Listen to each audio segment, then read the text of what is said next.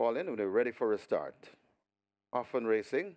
Platinum Force steps a bit slow and is left at the back of the field early.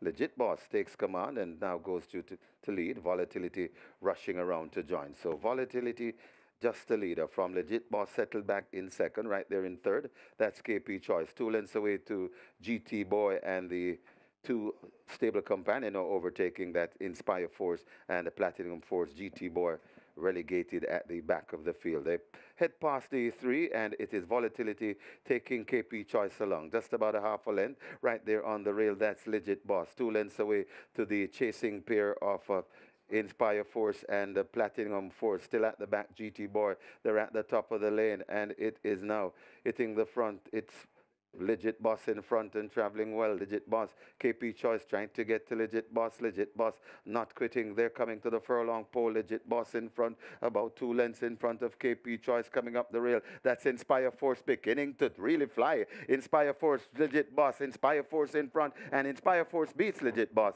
Then comes KP Choice, Platinum Force, Volatility, and a GT Boy.